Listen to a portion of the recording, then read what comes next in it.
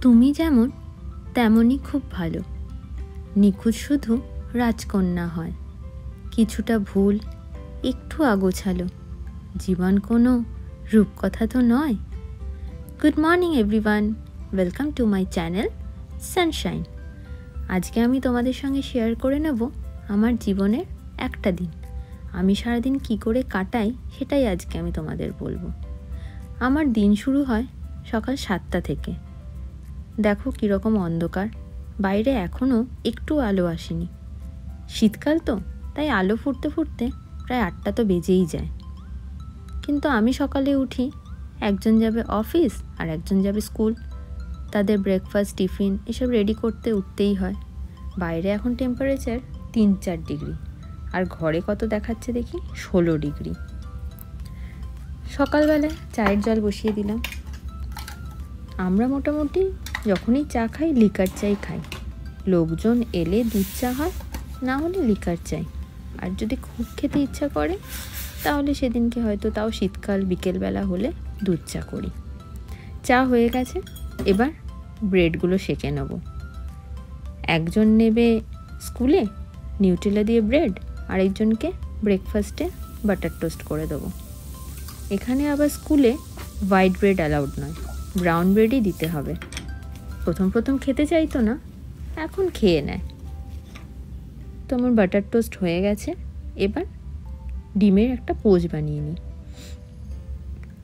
তো কোনো কোনো দিন বাটার টোস্ট করে দিই ব্রেকফাস্টে কোনো কোনো দিন দুধ কর্নফ্লেক্স খেয়ে যায়। তো poach ready ব্রেকফাস্টও ready butter toast egg poach আর চা। আর এদিকে আমি আমার মেয়ের টিফিনও রেডি করে ফেলেছি।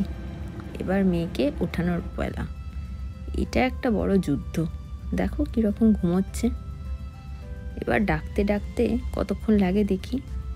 ঠিক আছে, এবার ওকে উঠিয়ে রেডি করে নিয়ে আবার আসছি তোমাদের কাছে। নাও রেডি হয়ে গেছে।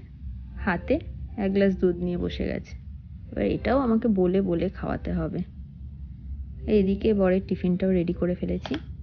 টিফিন রেডি ওরাও রেডি হয়ে গেছে। সাড়ে আটটার মধ্যে দুজনকে বেরোতে হয়।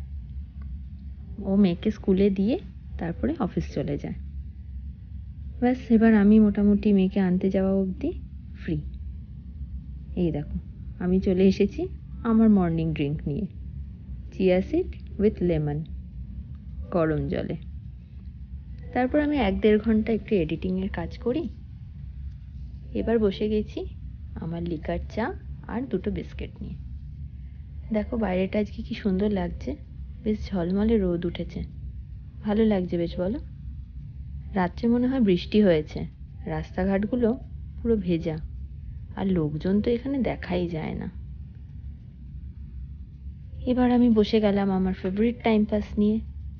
সারাদিন তো সেরকম কিছু করার থাকে না। তো একদিনকে বোতলগুলো হঠাৎ ফেলতে যাব। তোকে বারণ করলাম। ভাবলাম, দেখি বটলগুলোতে কিছু আর্ট করা যায় কি না আমি এসব পারি না, তো ইউটিউব দেখে ট্রাই করলাম। ভাবলাম, কিছু টাইম পাস তো হবে, ফেলে দেওয়ার থেকে এটাই করি। দেখো আরও একটা বানিয়েছি। কেমন হয়েছে দেখে বলো তো? আমার না পাখিগুলো খুব কিউট লেগেছে। তোমাদের কেমন লাগল? বটলগুলো ফেলে দেওয়ার থেকে এইগুলো করে আমার টাইম পাসও হয়ে যাচ্ছে। ও বাবা, এগারোটা বেজে গেছে। যাই দুপুরের রান্নাটা চটপট করে ফেলি। ভাত বসিয়ে দিলাম, আর এদিকে গরম গরম বেগুন ভেজে নিলাম, আর ছড়া দিয়ে চিংড়ি মাছ করব। ছড়াকে বোধহয় তোমরা কেউ কেউ কচুও বলে থাকো। আর এদিকে মেয়ের জন্য চিংড়ি মাছের পাতলা ঝোল বানিয়ে নিলাম। ব্যাস আমি স্নান করে খেয়ে দিয়ে রেডি হয়ে গেছি মেয়েকে আনতে যাওয়ার জন্য। বেরিয়ে পড়লাম। আচ্ছা ওয়েদারটা কিন্তু বেশ ভালোই। ঠান্ডা, কিন্তু রোদ উঠেছে বলে বেশ ভালো লাগছে। আর এই যে নিচে দেখতে পাচ্ছ, এটা একটা শপিং মল দাঁড়াও, আমি নিচে গিয়ে তোমাদেরকে আবার দেখাচ্ছি। এই ব্ল্যাক কার্ডের বাটনটা প্রেস করলে দরজাটা খুলে যায়। আমার বেশ মজাই লাগে। আমার ঘরটা চারতলায়। আমি অ্যাপার্টমেন্টে থাকি।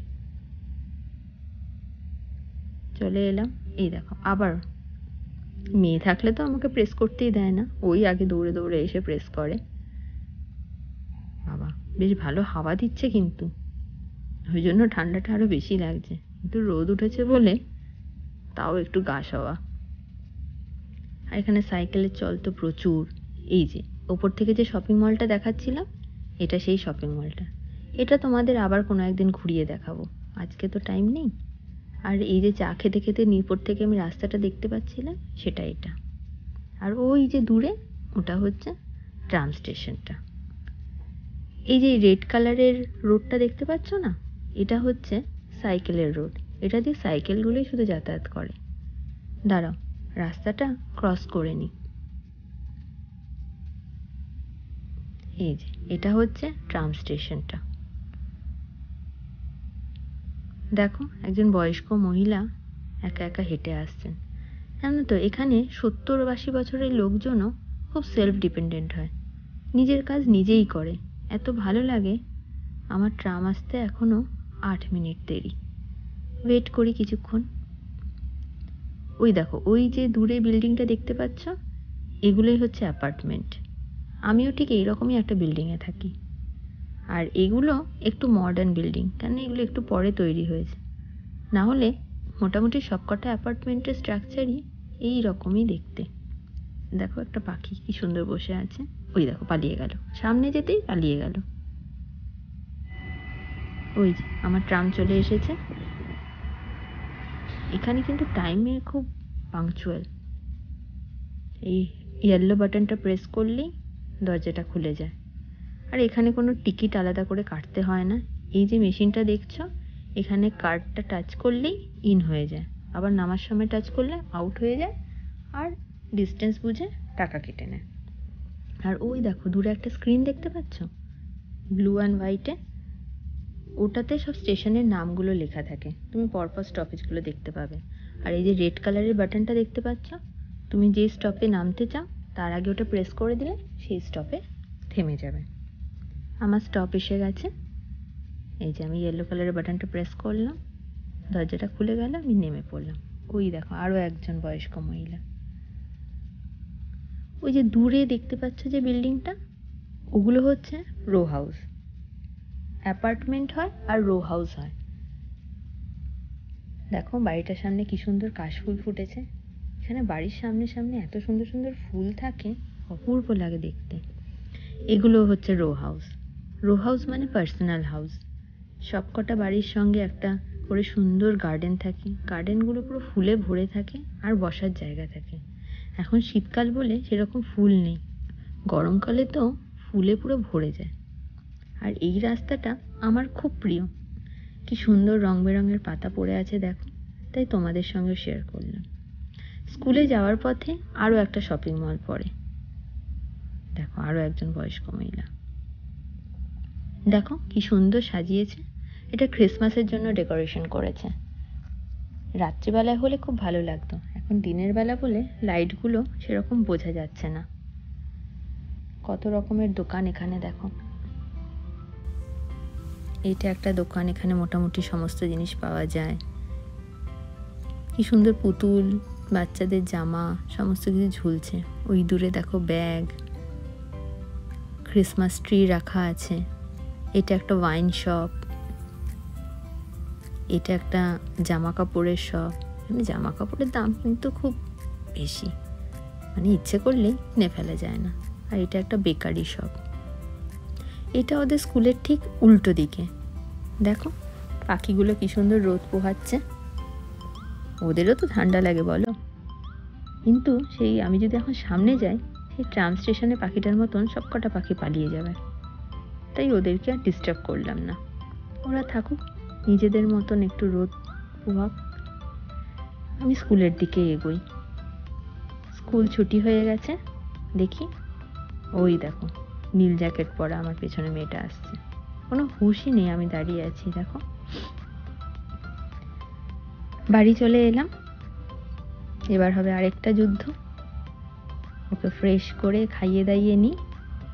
তারপর দেখি একটু ঘুম পাড়ানো যায় কি না না ঘুমালে সকালে খুব প্রবলেম করে উঠতে। গুড ইভিনিং এভরিওয়ান এখন বাজে সন্ধে সাড়ে ছটা। সবার প্রথমে মেয়ের চুলটা বেঁধে দিই। না হলে সেই রাত্রিবেলা আর আমাকে বাঁধতে দেয় না। তাই আমি সন্ধেবেলায় একবারে চুল টুল আশ্রে বেঁধে দিই। উনি নাকি চুল লম্বা করবেন। চুল কিছুতেই কাটতে দেবে না। আর এদিকে যে ঠান্ডা, চুলের যে যত্ন নেব, সেই উপায়ও নেই। যাই হোক, দেখা যাক কতদিন এভাবে চুলের যত্ন নিতে পারি। আরেকজন এসে গেছে অফিস থেকে, সঙ্গে নিয়ে এসেছে নান। আজকে নাকি নান ট্রাই করবে রেডিমেড নান, আর সাথে মাশরুম আজকে ভেবেছিলাম রান্নার থেকে ছুটি পাবো, দুপুরে রান্না করে রেখেছিলাম, কিন্তু সেই কপাল আর আমার নেই। তাই ভাবলাম নানের সঙ্গে চিলি মাশরুম তো ভালো লাগবে না তো চটপট মশালা মাশরুম বানিয়ে ফেলি। যাই হোক তাও ভালো যে যে মাশরুম এনেছে। মাশরুম বানাতে বেশিক্ষণ টাইম লাগে না। আর মশালা মাশরুম দিয়ে নানটা খেতে বেশ ভালোই লাগবে। যেহেতু নান এনেছে, আমার মেয়েও চটপট আশা করি খেয়ে নেবে। তো মাশরুম আমি বানিয়ে ফেললাম। তো ডিনার আমার আজকের জন্য রেডি নান আর মাশরুম। এবার গরম গরম তিনজনে খেয়ে নিই। কালকে তো আবার স্কুল আছে চটপট শুয়েও পড়তে হবে। তো আজকে আমার সঙ্গে সারাদিন কাটাতে তোমাদের কেমন লাগল আমাকে জানিও। আর যদি আমার সঙ্গে কাটাতে তোমাদের ভালো লেগে থাকে তাহলে প্লিজ আমার চ্যানেলটাকে সাবস্ক্রাইব করে আমার পাশে থেকো। আজকের মতন গুড নাইট টাটা। আবার দেখা হবে।